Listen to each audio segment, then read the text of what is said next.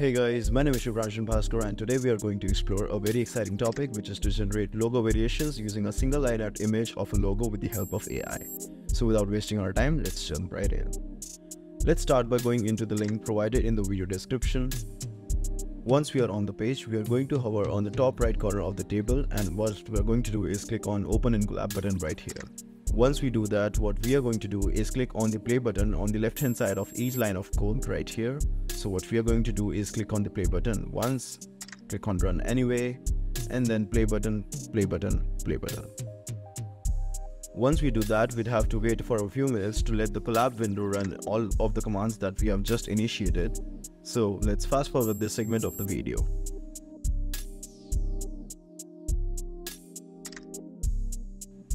So as soon as our code has finished running, we should be welcomed with this screen right here. What we are going to do is click on the line art uh, tab right here.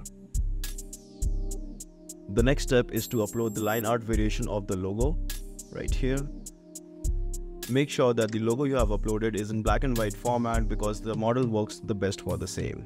Next, we are going to add a prompt. So I'm going to write Arial and for the environment, I'm going to write snow and then click on the run button right here. And in only a few minutes or few seconds, we should be welcomed with a new logo variation that the model has generated.